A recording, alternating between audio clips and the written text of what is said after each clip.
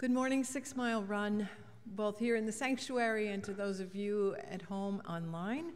We welcome you to this morning's fifth Sunday of Easter service and communion. Uh, I'd just like to share with you the announcements. Those of you at home don't get to see the announcements that are in the bulletin. So, just a reminder we are continuing to collect funds for Ukrainian refugee relief. Uh, we have refugees that we're helping to support through our missionaries in Europe, as well as the Highland Park Reformed Church will very soon be helping Ukrainian refugees settling here in central Jersey. So stay tuned for a little more information on how we can help support the Highland Park Reformed Church as they begin to house Ukrainian refugees. Our sermon discussion circle continues beautifully, even though I couldn't figure out how to get online Tuesday. I'm so sorry. But Yannick joined us, which was a great addition. So if you'd like to tune in, please do on Tuesday morning. And I hope you've had a chance to appreciate the new roof on Fellowship Hall. That work is done and it looks beautiful. We are very grateful that we're able to do that. And later in the fall, we'll be tackling all the woodwork and the painting of the chapel. So if you would like to help in any way with those projects, please be sure to let Mary know. And yesterday, there was the funeral service for our beloved David Rasu. And quite a few people are missing here this morning because they made the three hour trip down to Delaware yesterday and back. I understand it was a magnificent service, and we're hoping to do a memorial service here at Six Mile Run in the near future, so stay tuned for that. Um, you'll notice for our communion service this morning, we have an insert in your bulletin. Just note that that insert is not the next page in your bulletin. Just follow the bulletin and you'll pull out the insert when it's time for communion. And uh, we invite you to join us in Fellowship Hall afterwards for a coffee hour, so I hope you can stay.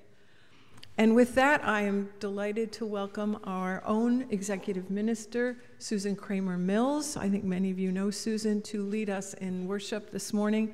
Susan has worshiped with us before. She has led worship here, and we're really privileged to have her back, especially on this important Communion Sunday. So, hope you can stay a minute and greet Susan after the service. Thank you. Susan, all yours.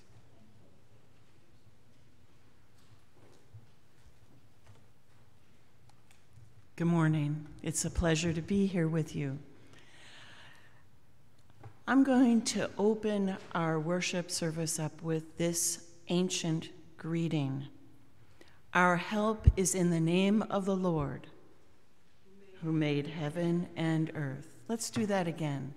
Our help is in the name of the Lord, Amen. Spirit of the living God.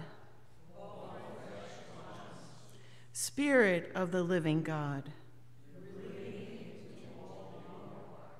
Spirit of the living God. Spirit of the living God. Amen.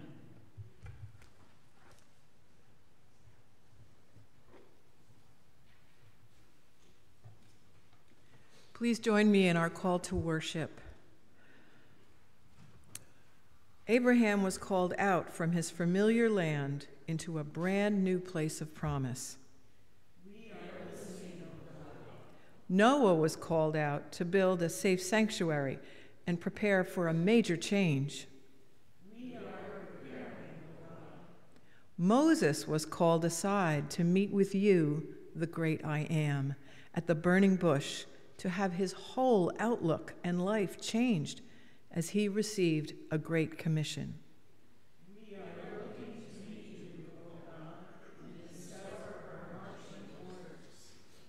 Peter was called to jump out of the boat into the churning sea and follow you.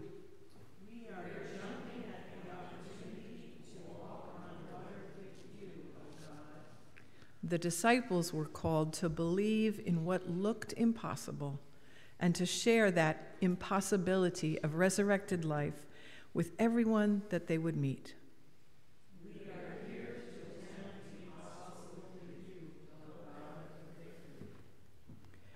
Do you hear it? God is calling out to us from up ahead. We are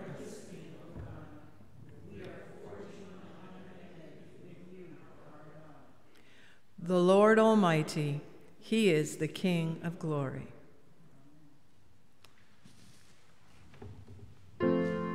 Everyone, I invite you to uh, stand, those of you that are able, as we speak, uh, prepare to sing our opening hymn, For the Beauty of the Earth. This is hymn number 19 in your Lift Up Your Heart hymnal. And we'll be singing verses 1, 2, and 3. Again, number 19 for the beauty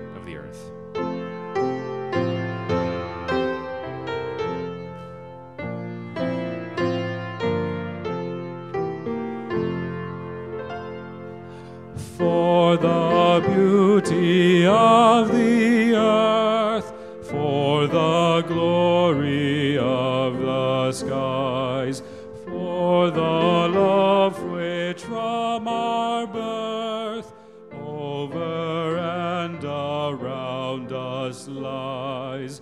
Christ our Lord, to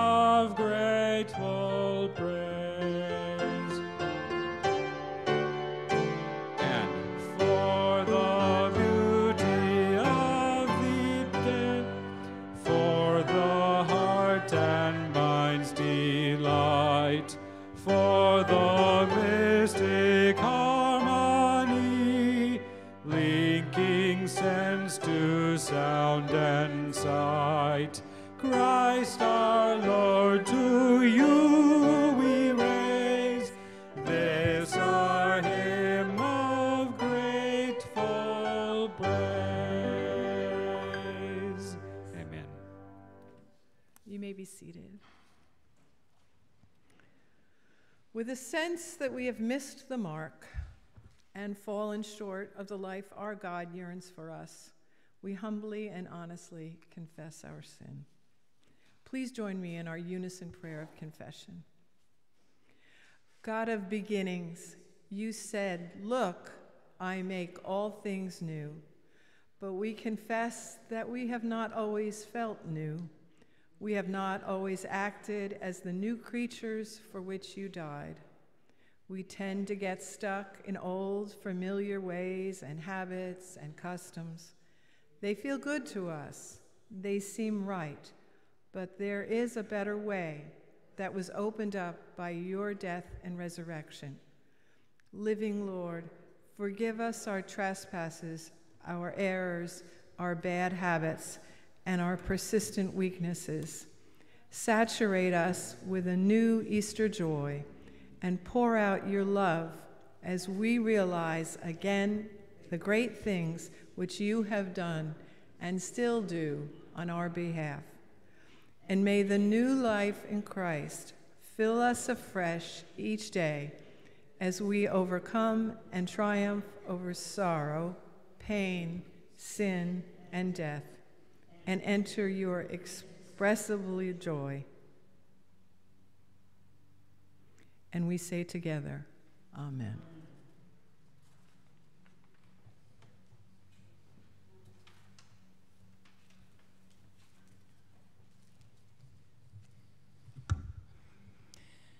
Friends, hear the good news.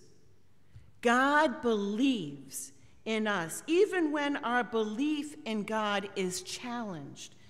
God's grace and mercy abound. And in God and Christ, we are forgiven.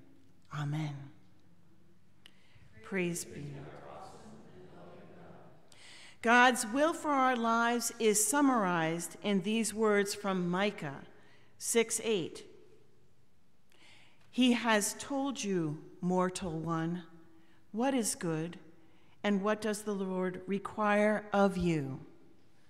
To do justice, to love kindness, and to walk humbly with our God. Let us do so.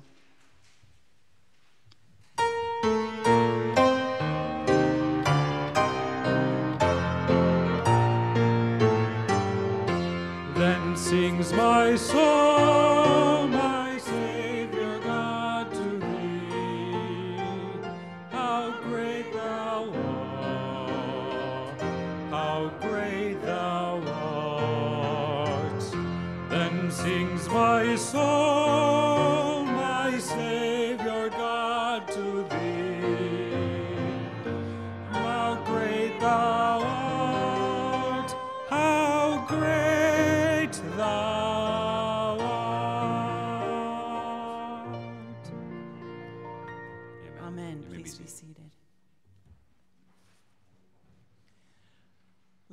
prepare our hearts and minds to hear God's word with the prayer of illumination. Free us now from everything, O God, that might distract our hearts and minds from encountering you in the words of Holy Scripture. Open our souls that we might hear you in what you are saying to us today. We pray in Jesus' name. Amen. Our first scripture lesson for this morning comes from the Acts of the Apostles. I'll be reading chapter 11, verses 1 through 10. And this is uh, where Peter, the Apostle Peter, is explaining his actions of why he was talking and eating with those who were not of the Jewish faith. The apostles and the believers throughout Judea heard that the Gentiles also had received the word of God. So when Peter went up to Jerusalem, the circumcised believers criticized him and said, You went into the house of uncircumcised men and ate with them. Starting from the beginning, Peter told them the whole story. I was in the city of Joppa praying, and in a trance, I saw a vision. I saw something like a large sheet being let down from heaven by its four corners, and it came down to where I was. I looked into it and saw four footed animals of the earth, wild beasts reptiles, and birds. Then I heard a voice telling me, Get up, Peter, kill and eat. I replied, Surely not, Lord. Nothing impure or unclean has ever entered my mouth. The voice spoke from heaven a second time. Do not call anything impure that God has made. This happened three times, and then it was pulled up to heaven again. And our second reading for this morning comes from Revelation, chapter 21, verses 1 through 5a. This is that wonderful passage where it talks about a new heaven and a new earth. Everything is new in God. Then I saw a new heaven and a new earth. As for the first heaven and the first earth had passed away, and there was no longer any sea, I saw the holy city, the new Jerusalem coming down out of heaven from God, prepared as a bride beautifully dressed for her husband. And I heard a loud voice from the throne saying, Look, God's dwelling place is among now among the people, and he will dwell with them. They will be his people and God Himself will be with them and be their God. And God Himself will be with them and be their God, and He will wipe every tear from their eyes.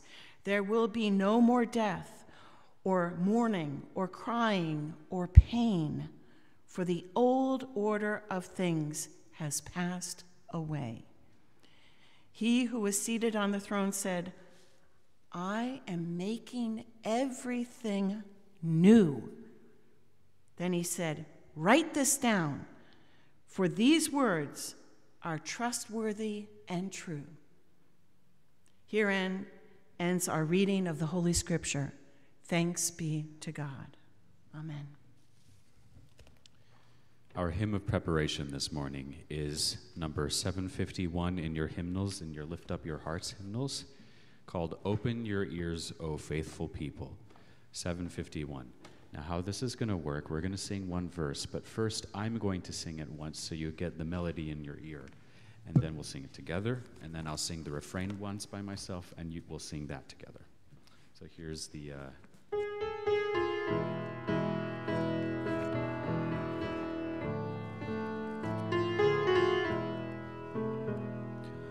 Open your ears, O faithful people. Open your ears and hear God's word. Open your hearts, O royal priesthood. God has come to you. Let's sing together. Open your ears, O faithful people. Open your ears and hear God's word. Your hearts, O royal priesthood. God has come to you. Now I'll sing the refrain in the uh, the Hebrew that's listed, and then we'll sing it together in English. Okay. Torah, ora, Torah,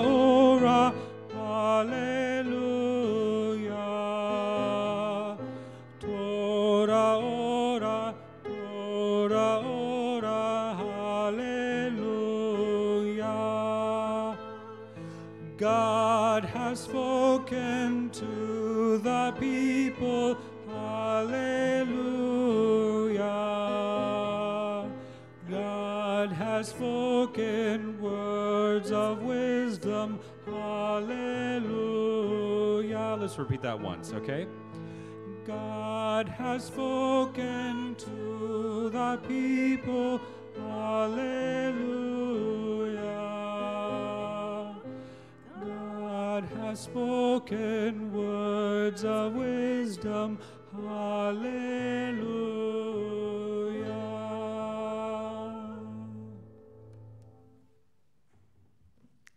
Thank you, Julian. That was great. Let me offer a prayer. Holy One, may the words of my mouth and the wisdom on our hearts be pleasing in your sight, you who are our rock and our Redeemer. Amen. Here is an interesting statistic about people surveyed in the United States. One in three people would avoid change at all costs if we could. One in three people. That is, this is according to Jim Bright, who is an organizational psychologist and change coach. In other words, one third of us do not like change at all. And then there's another third that really would prefer not to change if we could, but we know we might have to. And the rest of us, the other third, are we can do this. Yeah. Yeah, we bother everybody else though. Why do we like dislike change so much, dear friends? Aren't we constantly changing, growing older, growing older, living with the seasons, right? Growth, blooming, decline, winter, summer, fall. Then there's the major societal change and world changes, wars, unfortunately, political upheaval as well, climate change, laws being changed, and, and, and. According to research, people fear change because they lose control over their role in what they see life is. We don't know what we are supposed to be doing if things change. We sort of act like this, right? Oh my gosh. It makes us uncertain. And the larger the change is, the more drastic the change is, the more powerless we feel. And that causes us to feel fearful even more. It, the fear increases, and then people do, unfortunately, desperate things. We have experienced some of that during this pandemic, right? Some people refused to wear face masks when they were asked to. Others refused to get vaccinated. And there were then a huge, there was a huge increase in mental health disease during this period because we were all locked up. It was a huge change. And we didn't know what was right from wrong. We didn't know what our role was. Everything was different. How stressful it was. So life is ever evolving, becoming. And as living organisms, we need to evolve too or so we'd like have to. So, can we or do we think we could welcome change, embrace it, live with it? There are these ancient words from Psalm 128, verse 8, which we said at the beginning of worship, and I, I wanted us to say them again because they are so fundamental. Our help is in the name of the Lord who made heaven and earth. This opening verse is a part of the standard liturgy of the RCA, the Reformed Church in America, and it's been that way for many, many decades. It reminds us every Sunday morning when we come to worship that our help comes from God. It reminds us that we are not alone. It reminds us that whatever we encounter during the week while we struggle in our daily lives, still God is our help. So when change happens, we can rely on God for our help. And thinking about this sentence, let us look again at the passage from Acts. We heard how the Apostle Peter was called to give a statement about his actions in Joppa. He had eaten with uncircumcised men, meaning non Jews, okay? And this was something unfathomable for the early followers of Christ. They were all members of the Jewish faith, as Jesus was himself. Eating with Gentiles was generally considered making oneself unclean. Now, what does that mean? Why is it that they make themselves unclean? Mostly the concern is that Gentiles ate food that were offered to other gods, and thus they themselves were not considered clean. This was an understanding that grew out of the kosher laws handed down in Leviticus chapter 11. Personal cleanliness was also a prerequisite in Jewish faith of being considered correct in one's faith, doing things right. Physical fitness is a central part to the Jewish practices of that time. You all remember about the lepers and people who are ill, always being put out. This has to do with that. Because anyone with an illness or a physical ailment was considered unclean, and that they had done something wrong in some way, and that they were not pure and therefore not right with God. And if you had touched them or associated with them, you too would become unclean. That was that understanding. Peter transcended all of this with his actions, just like Jesus did, okay? Peter ate with the Gentiles because he was inspired by that vision that God was saying, All these animals are clean, everyone is clean. And that vision is setting aside millennial old kosher laws. Let me repeat that again millennial. Not just a few hundred years, we are talking about thousands of years, a several thousand, maybe two, that Peter's contemporaries were shocked about what he was doing. Shocked is mildly put. What was happening in this text is an enormous cultural and religious shift. Peter opens the faith in Jesus Christ to a new audience and actually assists the good news that the good news can reach the entire world. Enormous change. All people, all people are welcome to receive the good news.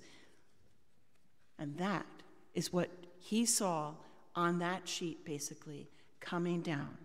This is a huge change. It is a new earth, it's a new creation in Christ.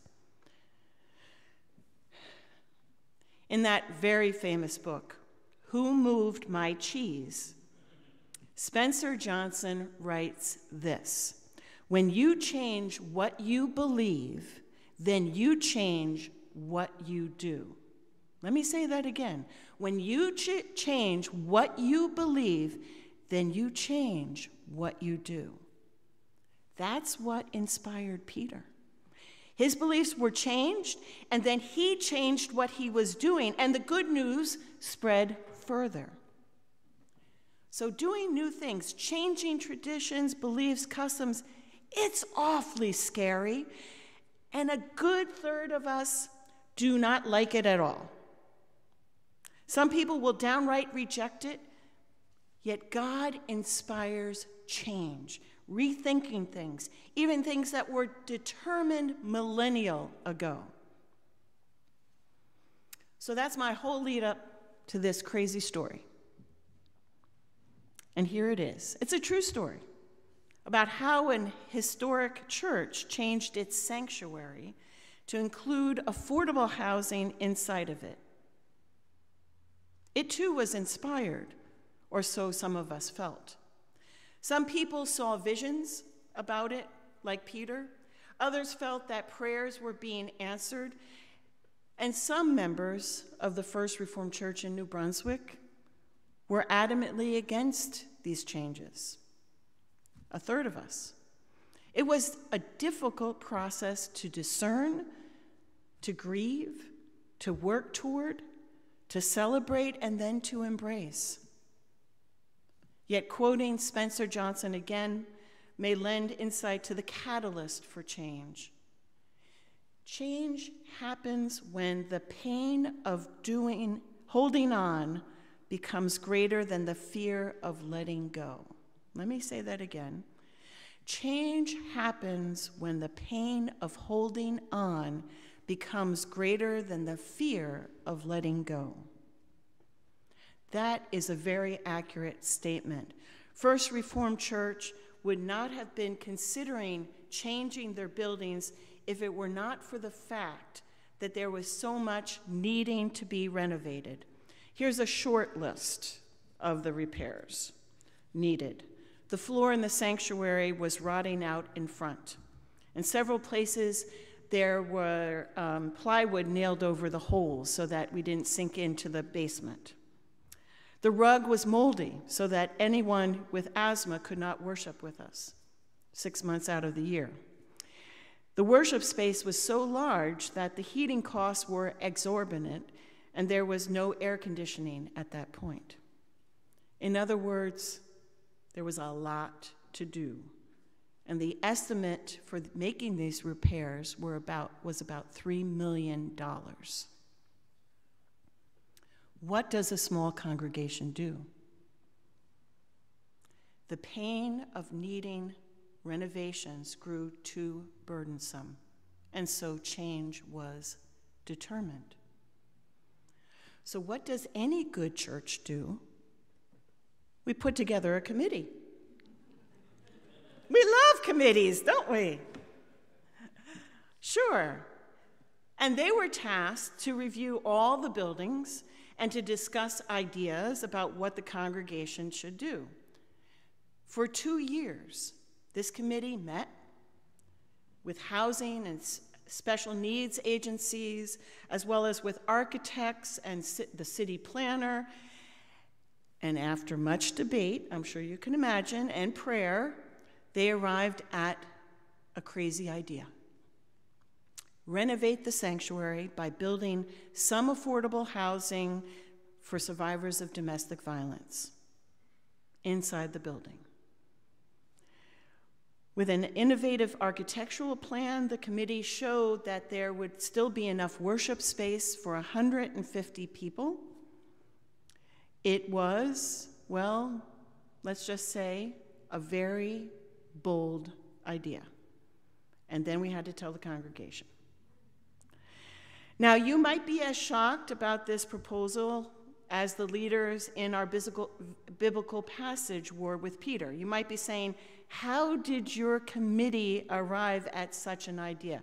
And I will say that the church, some people in church said the same things to us. And um, we said, Well, our committee really wrestled a lot with different ideas. We spent two years looking at this from different angles with different people. And when we reviewed our church's history, we discovered something. In 1971, the congregation housed an abused woman, woman in our sexton's house, which was also on the property, is also on the property. So, and out of gratitude, she was cleaning the church. Unfortunately, though, her abusive boyfriend found out where she was staying and sought retaliation for the safety that the church was providing, and he broke into the sanctuary and set fire to it. This destroyed the chancel area, half of the pews, the balcony, all of the stained glass window were gone. 1971. It was devastating, as you can imagine, because I know how much you love this church. After the fire, the church was repaired. It didn't look like what it did, but it was still a lovely sanctuary in its own way. Yet that fire, our committee determined, was the inspiration. It was the sheet that God lowered into our midst to show us a new way. The committee strongly felt that God was telling us something which we confirmed through our two year long conversations. And this new idea was brought before the congregation for a vote. It was to build long term housing for survivors of domestic violence. Because we were housing that woman, and this all happened because of that. But it also enabled us to do that very project. First Reformed Church was to use its sanctuary to be a sanctuary for homeless, abused women. That fire was God's way of telling us to do something new. Yet we only came to that decision after the pain of repairs was too difficult. Now, I'm sharing this story for two reasons. First of all, Robin asked me to talk about the project. She has been a wonderful support for the ongoing nonprofit organization that oversees uh, the, the, the project, the, the women, and is building more within on the property of First Reformed Church. Um, but also, God moves in mysterious ways. So when I looked at the lectionary reading for today, and I read the Peter, the story of Peter giving an account of eating with the Gentiles, I felt that this all fit well together. We all need to hear again and again this message of doing something new. The change that Peter enacted and the change that First Reformed Church of New Brunswick undertook are both intense and difficult, as well as deeply spiritual and rewarding.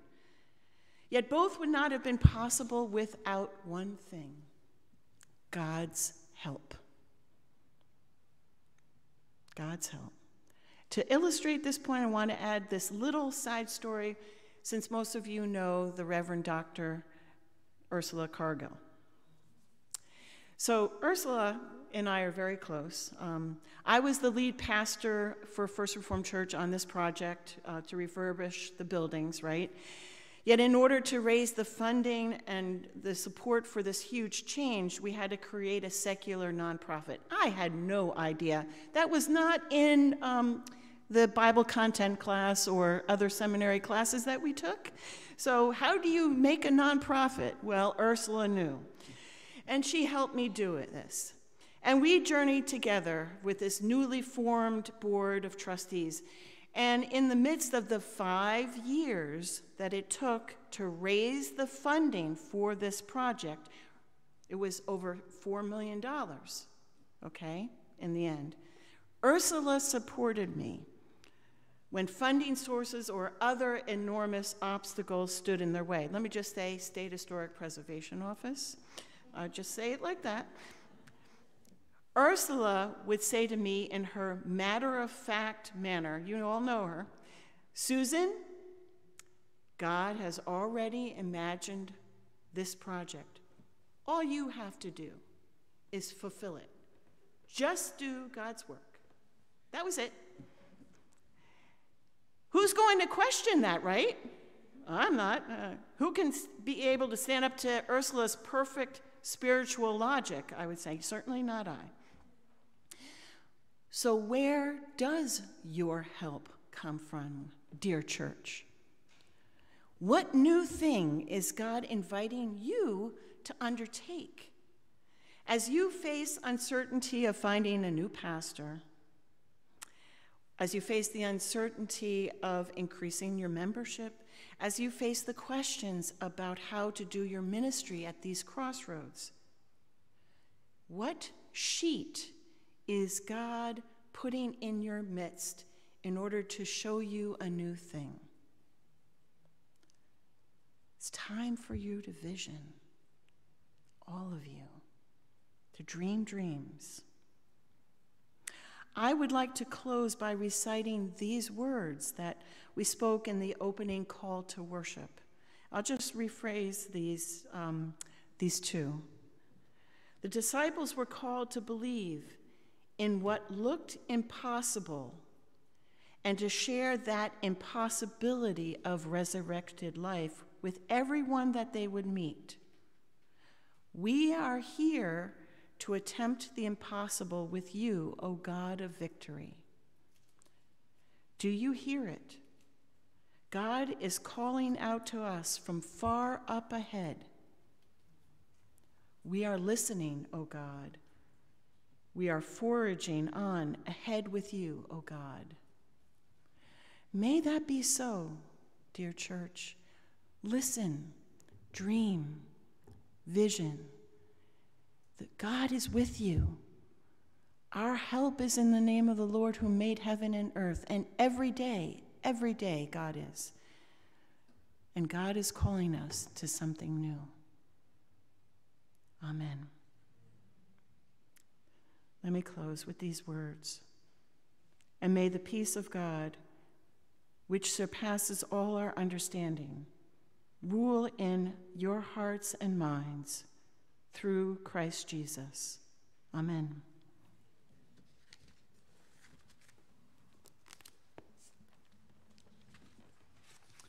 Our hymn of meditation this morning is number 294 When Asked, Who is My Neighbor? Again, it's in your Lift Up Your Hearts hymnal, number 294 When Asked, Who is My Neighbor?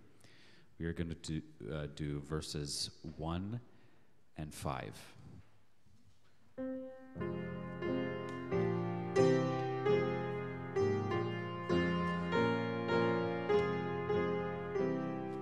Again, it's 294.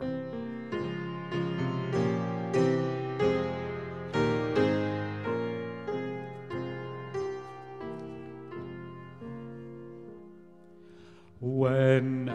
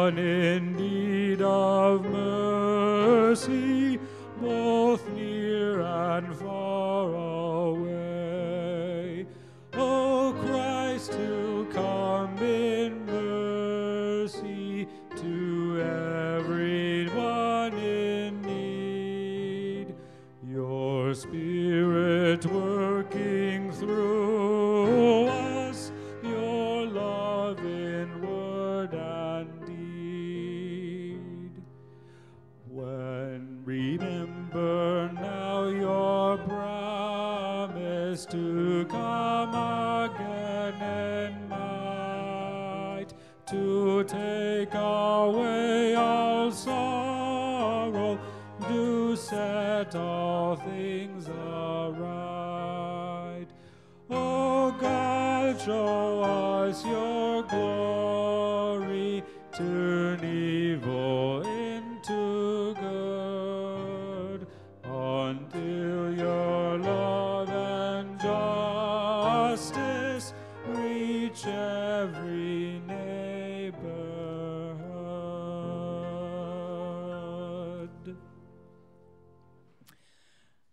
Beloved in God, I invite you to use this time to thank God for the gifts bestowed upon you through God's goodness and grace.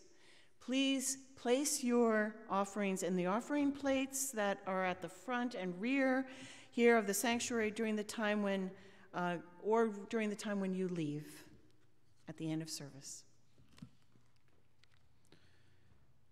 O day of peace that dimly shines through all the hopes and prayers and dreams, guide us to justice, truth, and love, delivered from our selfish schemes.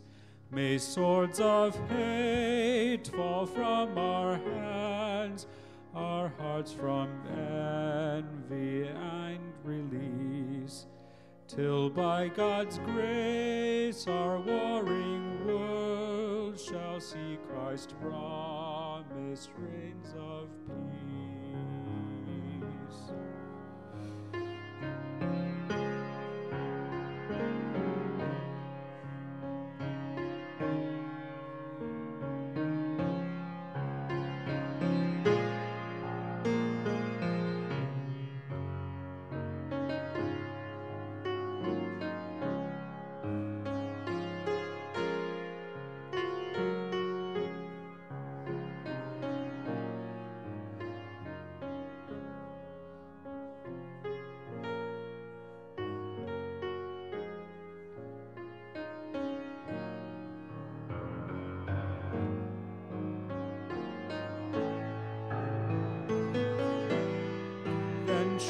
The wolf dwell with the lamb, nor shall the fierce devour the small, as beasts and cattle calmly graze. A little child shall lead them all. Then enemies shall learn and love. All creatures find their true accord. The hope of peace shall be fulfilled for all the earth shall know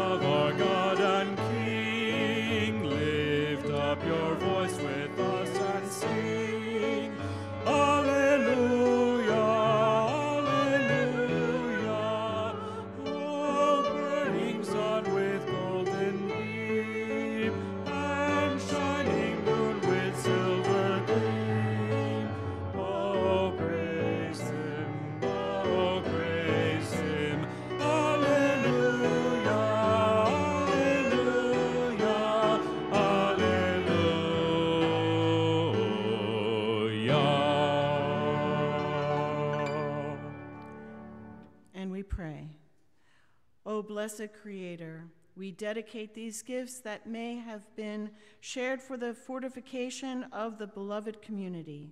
May these gifts do justice in the world. May they be sign of our belief in you who saves, heals, and sets free. May these gifts and the works of our hands be a blessing to all in need. Amen. Thank you. Please be seated.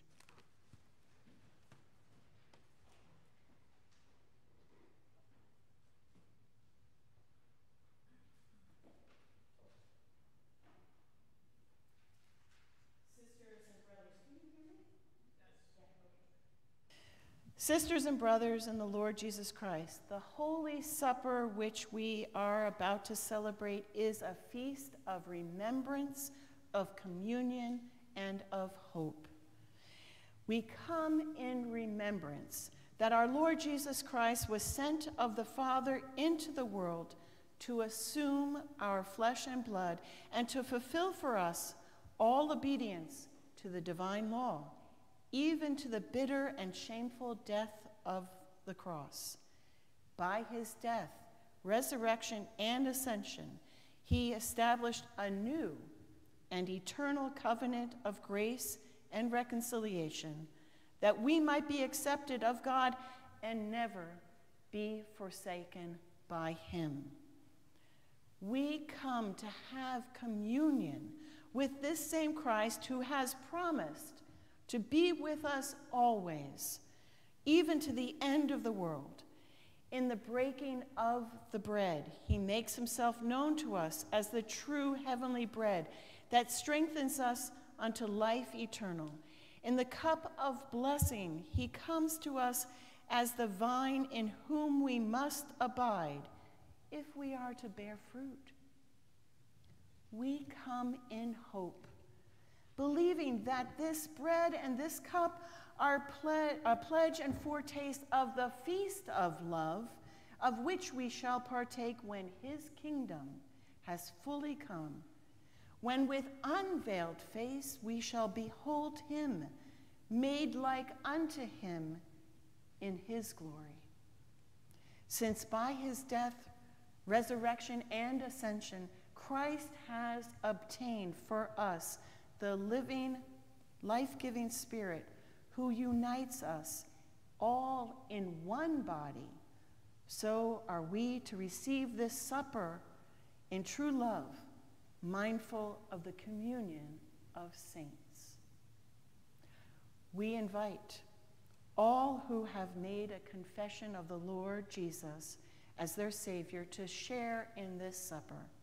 Come, for all things are now ready. Let us sing. We're going to sing the communion hymn, uh, Let Us Break Bread Together, number 837 in your hymnals.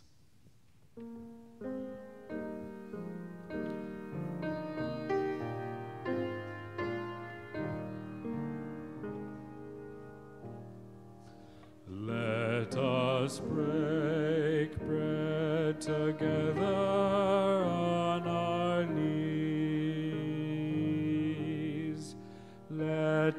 Us break bread together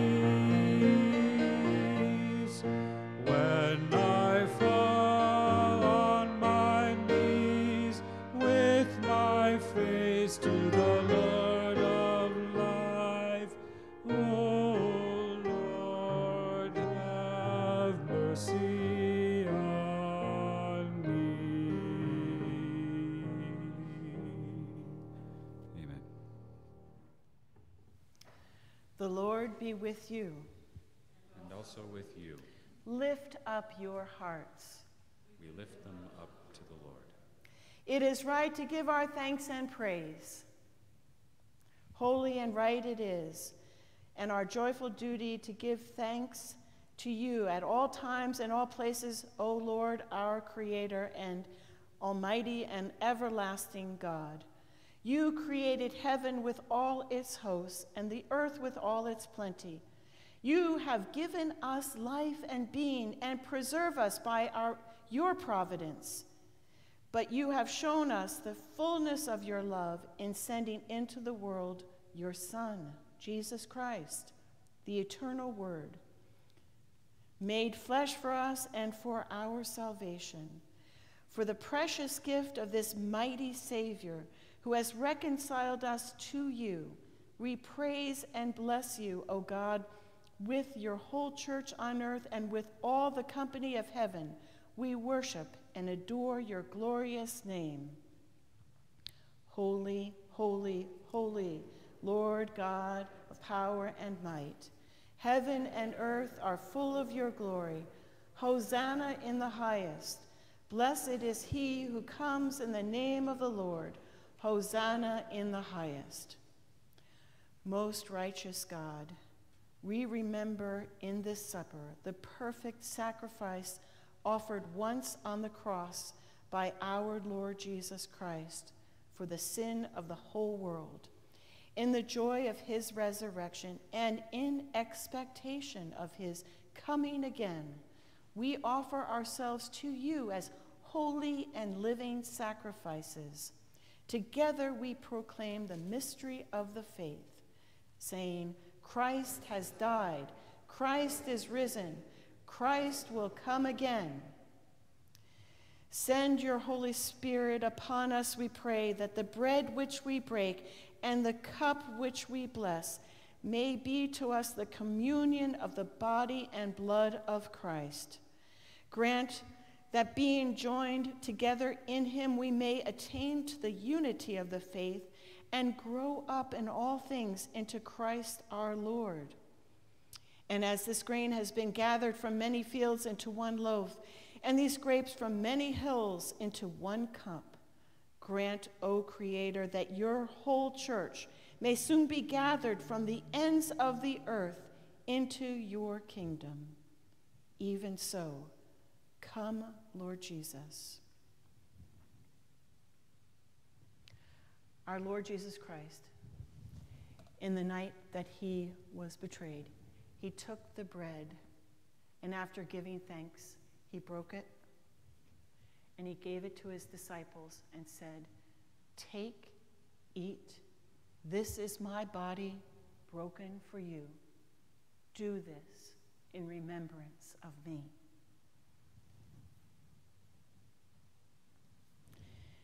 And in the same manner, after they had supped, he took the cup.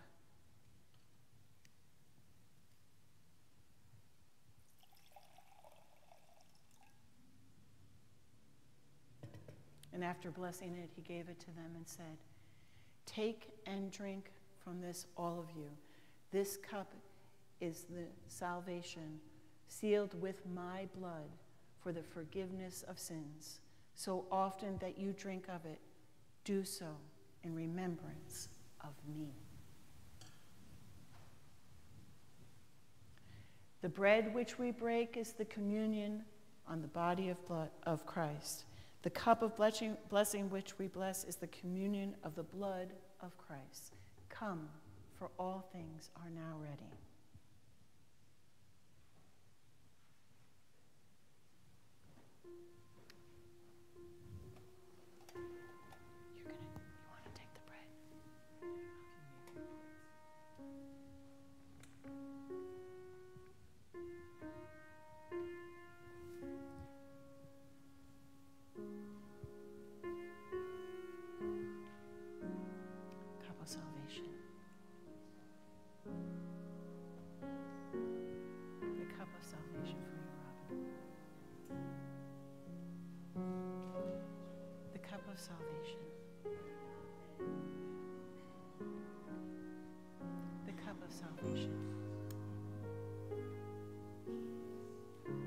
salvation.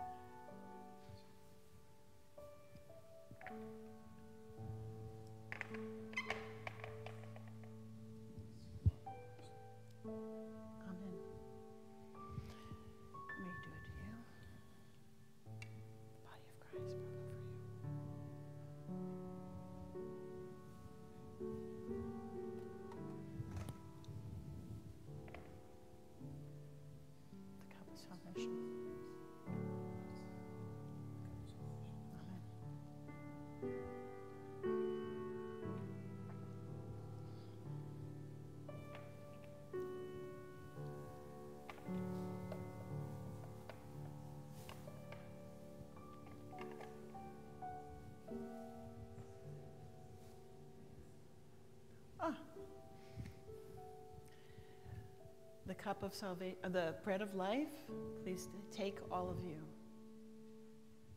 The cup of salvation.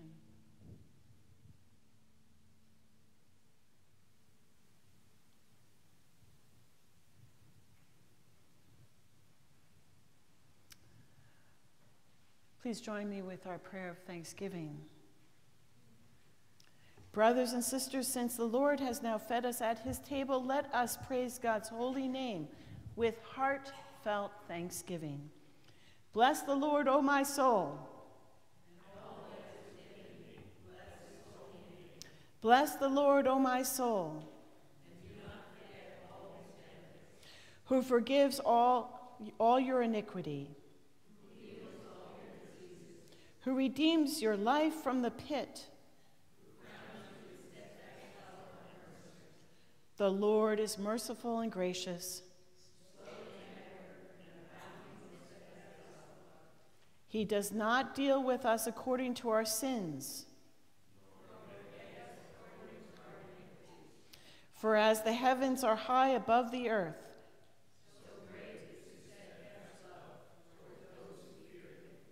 as far as the east is from the west,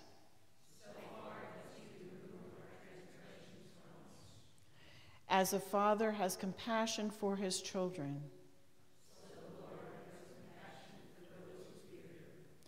Who did not spare his own son, but gave him up for us all, and will also give us all things with him.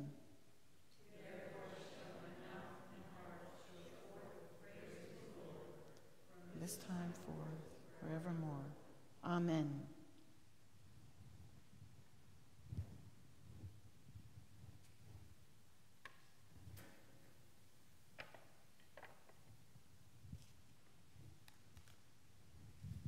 This time, we will collect uh, any prayer requests, joys, and concerns that you all in the sanctuary have, as well as those online. If for those people watching online, if you could just uh, be sure to write your requests in the YouTube chat box right now, that would be great because then we can um, getting a little bit of feedback. One second.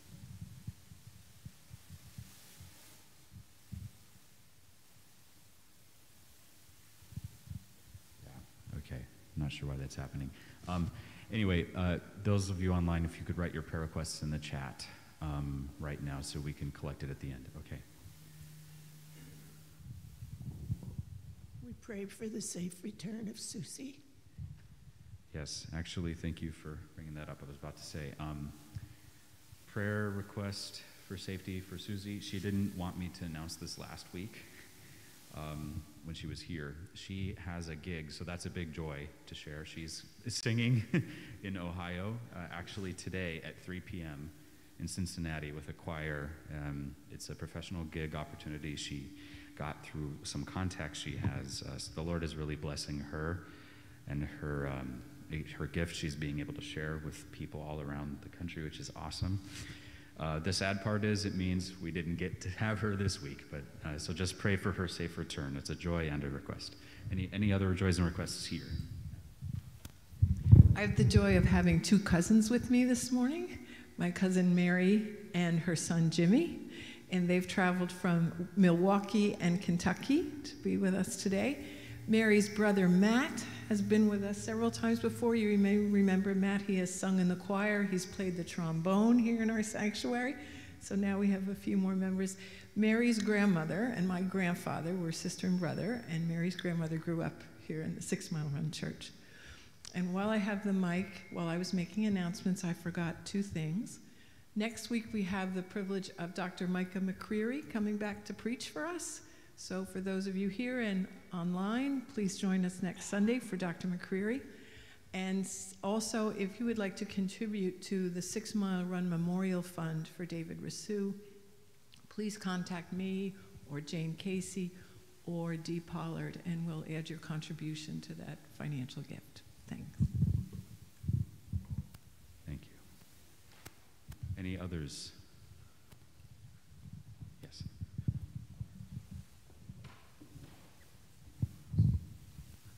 I'd like to give thanks uh, to the Lord for giving us Ursula Cardigal, who not only did the service yesterday, but she had this big bus van that carried those of us that would not be able to drive there. And it, it was really good to be there and um, be there for David too, and Mar- Mar- Marge. Thank you. Amen. All right. Any others? Yes?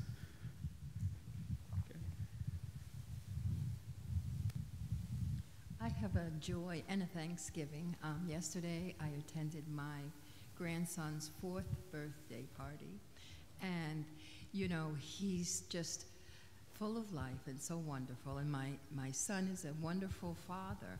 And, um, you know, they, the, they lost their first little boy at 17 days old. And God blessed him with a daughter after that, and then this little boy, Benjamin Lucas. And he's just the joy of the whole family. And I- so I want to share that, and I want to thank God for all of my family and all of my church family. Amen. Amen. Any others? Guess. Uh, yeah. What do we have online? We have a request online from Carol who says, Prayers for my mom, Gert, to respond to her physical therapy. And we have another request from Darylyn who says, Joy that Sharon Townsend is home from the hospital. Please pray for the biopsy she is having on Tuesday. Please pray for good outcome and continued healing and comfort. Who's that? What's that person's name again, please? Sharon? Okay. Sharon's biopsy. And Gert was the other person with her mom? Yeah. Okay. Okay. I, I'd also like to bring up um, what's going on in the world yesterday, unfortunately, and um, we can't really, you know, overlook that. Um, the, the 10 families that are, are mourning uh, how their beloved ones got killed just by going to the shopping, um, to the grocery store. So, to pray for those families. I also would like to have God put out God's holy arm uh, to all of those who feel that they need to grasp weapons to express themselves. May God, hand, we hand them over to God so that God will do what God needs to do for them. So, just going to bring that up. Good. Are there any other prayers? Thank you. Let's let us pray. We praise and thank you, O Lord, that you have fed us at your table, grateful for your gifts and mindful of the communion of your saints. We offer to you our prayers for all people. God of compassion, we remember before you the poor, the afflicted, the sick, and the dying, the prisoners, and all who are lonely, especially the victims of war, injustice, inhumanity, and all others who suffer from whatever their sufferings may be called. In particular, we lift up to you Gert and her mother, and Sharon for her biopsy.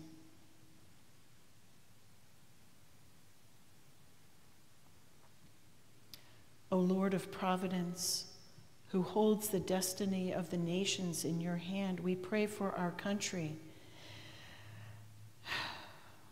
Inspire the hearts and minds of our leaders, that they, together with all our nation, may first seek your kingdom and righteousness, so that order, liberty, and peace may dwell in your people.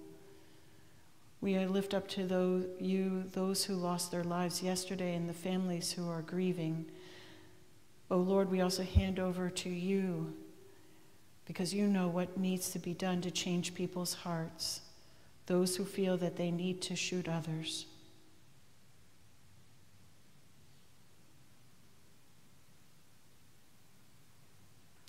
O God, the Creator, we pray for all nations and peoples.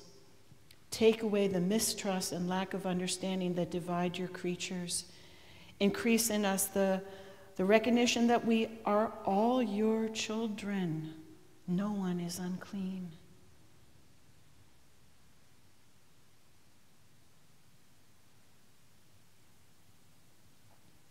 O Savior, look upon your church in the struggles upon the earth.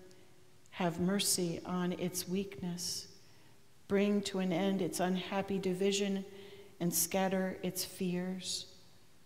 Look also upon the ministry of your church, increase its courage, strengthen its faith, inspire its witness to all people, even to the end of the earth.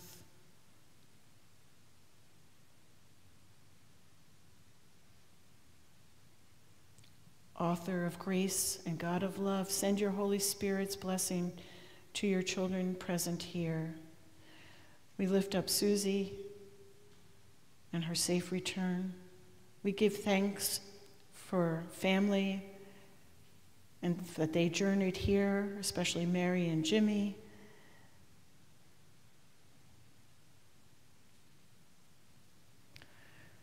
We give thanks for grandchildren and for Ursula and her witness.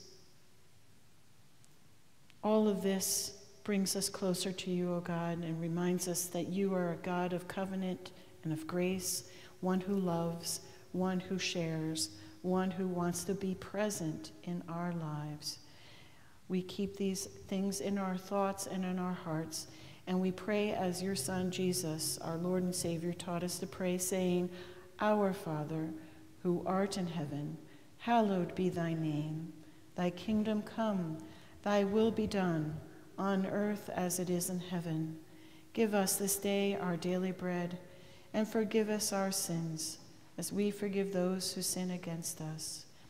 And lead us not into temptation, but deliver us from evil. For thine is the kingdom, and the power, and the glory forever. Amen. Our closing hymn is number 266. The Church of Christ Cannot Be Bound in your hymnals, number 266. Uh, and we are going to sing the first four verses now, and then for the benediction, we'll conclude with the fifth verse. So, again, number 266 The Church of Christ Cannot Be Bound.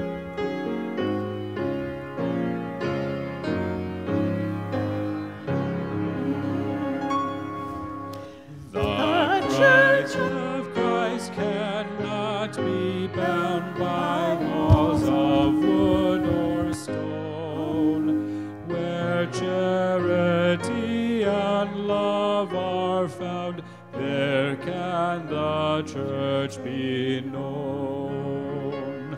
The faith will open up the door and step into the street. True service will seek out the poor and ask to wash their feet. True love will not sit justice is denied. True mercy hears the homeless cry and welcomes them inside. If what we